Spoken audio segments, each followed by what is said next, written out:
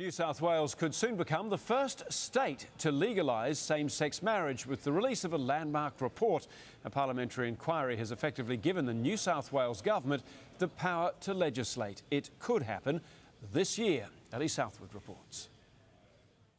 Gary Ashmanite and Stephen Miller have been engaged for four years, waiting and hoping that one day they'll be able to get married in their home state of New South Wales.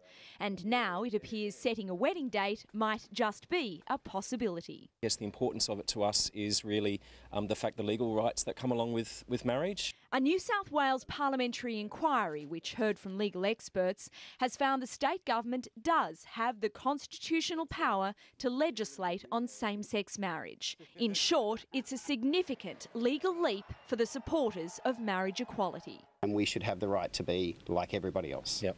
Labor MP Penny Sharp is one of a handful of politicians from different parties working together on the bill. It's the first time that there's actually been a tick to say that it's constitutionally possible for the states to legislate in this area.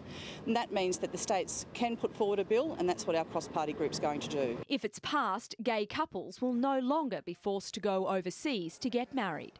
As soon as we walk back into Australia, It's we, yeah, have, no, we have a piece of paper that means nothing here. The bill will be introduced to Parliament by the end of the year. The first step will be for the bill to be debated and passed in the upper house.